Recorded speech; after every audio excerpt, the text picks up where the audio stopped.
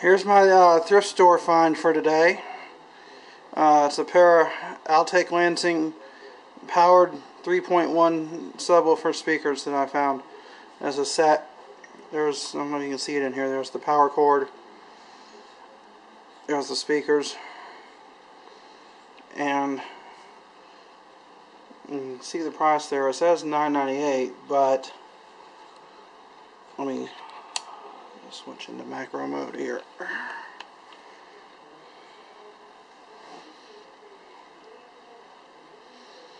You can see I actually only paid um, $5.39 for them.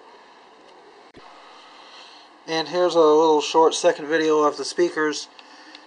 You can see they just fit under my desk perfectly here. The inside of my desk there. And excuse the mess. Here's the sub back here on the floor. And I'm going to give you a little sound test. Let me